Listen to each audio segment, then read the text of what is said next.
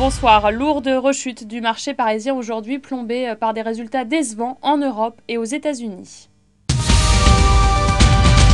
Valeurs cycliques ont lourdement pesé sur la tendance. Saint-Gobain, Technip, Schneider Electric ou encore Alstom inscrivent les plus fortes pertes de la séance. À la peine aussi euh, les valeurs du luxe, LVMH, PPR, Christian Dior.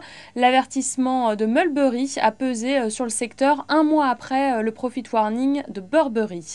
Et puis du rouge aussi pour les valeurs bancaires, notamment BNP Paribas et Société Générale, alors que la Deutsche Bank a réduit ce matin ses objectifs de cours sur les deux dossiers.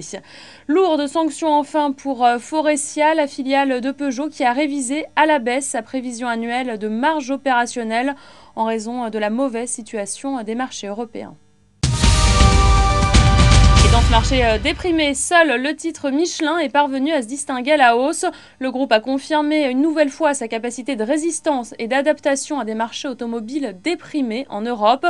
Côté chiffres, Michelin a dégagé 5,4 milliards d'euros de chiffre d'affaires au troisième trimestre, en hausse de 5,7%. Cela dépasse légèrement les attentes des analystes. Et sur l'ensemble de l'année, Michelin confirme son objectif d'atteindre un résultat opérationnel avant éléments non récurrents en net hausse, et cela en dépit d'un repli des ventes en volume de l'ordre de 5%. Voilà, c'est la fin de ce flash. Je vous retrouve demain à 9h30 pour le point d'ouverture.